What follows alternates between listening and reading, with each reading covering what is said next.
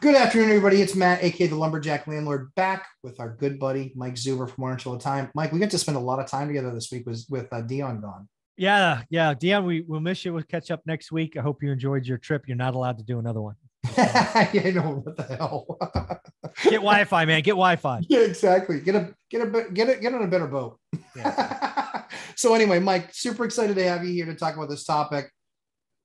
I think we spend a lot of times helping landlords. And I think one of the ways that we can help landlords is by having them best set expectation for potential tenants. Mm. I think that tenants need to be doing a lot more research now and better understanding themselves and what mm. they look like to a landlord.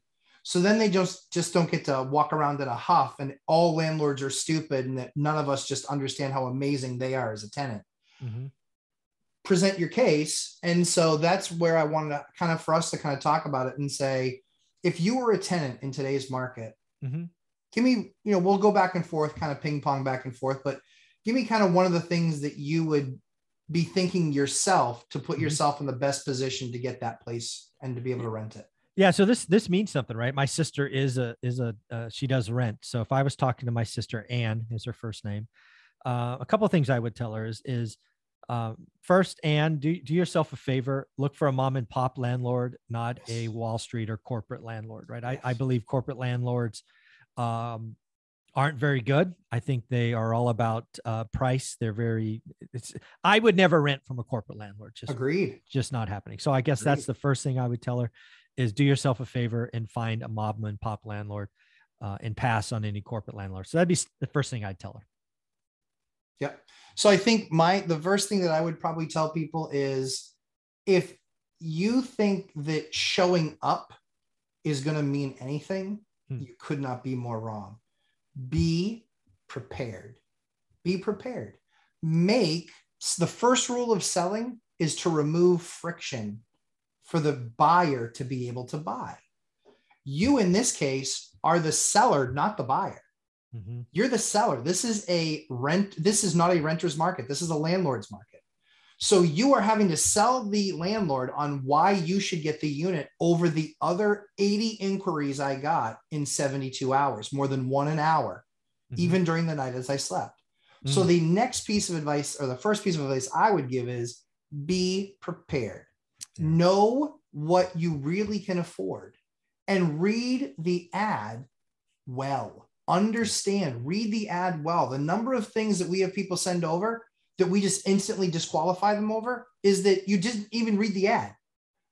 You didn't even read the ad. Read the ad, understand the ad, and be prepared based on what that ad is telling you to do.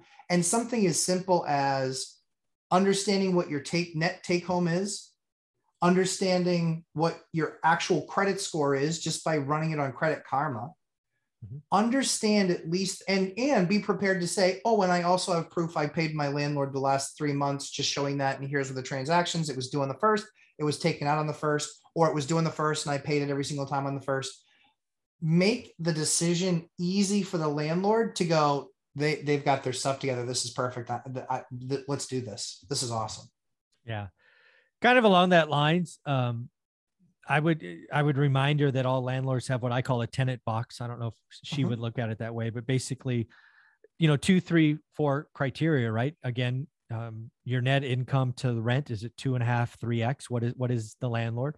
What is the minimum credit um, uh, score uh-huh. required? Uh-huh. Uh, and then if you are my sister in this case, uh, Anne, um, you know, you may want to get uh, a co-signer or something lined up to make it even a stronger application. Um, you know if you're right on the borderline for you know two and a half or three times uh, you you again you need to realize that you the the the property you're looking at is scarce. And if you're looking at a house like she would be it's even scarcer. Right. And if we go into a market where affordability keeps going down rental homes like houses are even going to become more scarce.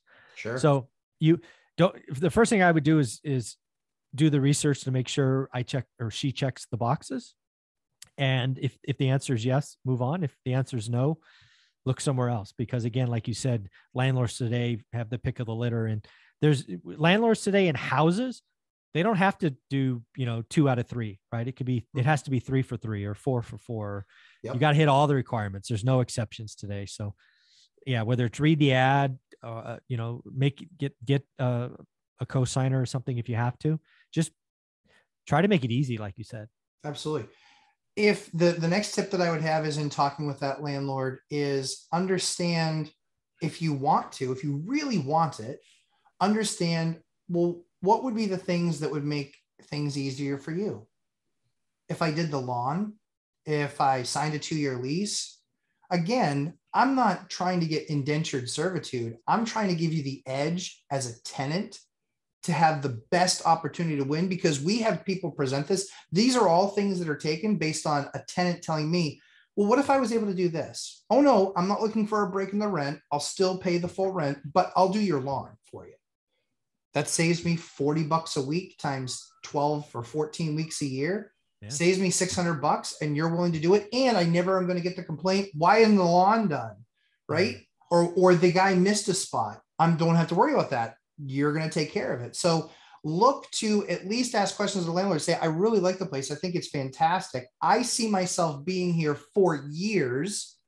And what I'd love to do is really, you know, help. And so if there's, is there something here like doing the lawn or putting flowers outside, something like that, that I might be able to help with? Honestly, every single person that's ever done that for me, we've ignored other stuff because mm-hmm. we're like, they want to be here. They're gonna, they're gonna keep the place. Yeah. And that made them instantly better qualified as a tenant. Yeah. I guess my last one on this topic is if I was coaching my sister again, I would hope she would eventually get on the property ladder. I would tell her not to stretch. Yes. Stole my Yeah. Uh, see, I like going first. Uh, you know, down, this this is really the time to down. You know, get uncomfortable for a little while. Yep. Um, go get a little bit smaller so you can save money. Uh, because I really do believe as as early as next year, the powers that be are going to throw a lot of money at first time I home buyers. I agree. And you know what? You might as well get a little scratch put together. Don't stretch. This is not the time to stretch. You know, go down. If you need a three bedroom, get a two. If you need a two, get a one. And um, let's not forget that getting on the property ladder, whether it's house hacking, a 203K loan, Mhm. something is at least if I was talking to my sister, would hopefully be the goal that she would be striving to. Um, so that's what I, those are the three I'd probably tell her.